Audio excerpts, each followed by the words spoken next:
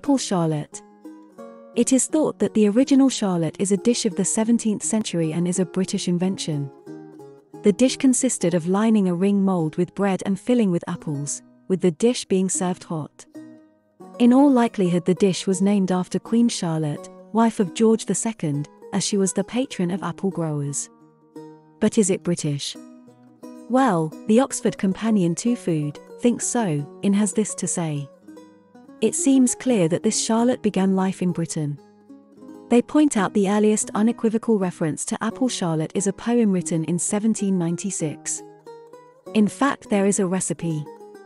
Viard's La Cuisinière Impériale, the latter being a French cookbook, in fact, one of the more important French cookbooks of the 19th century. Other lines of evidence that the apple charlotte is British is that the first recipe in print is from the early 19th century. A New System of Cookery by Maria Rundell, 1807. So is apple charlotte British. The fact that the history of the dish is controversial doesn't change the quintessentially British nature of the dish. To read a recipe for apple charlotte, click on the link provided below.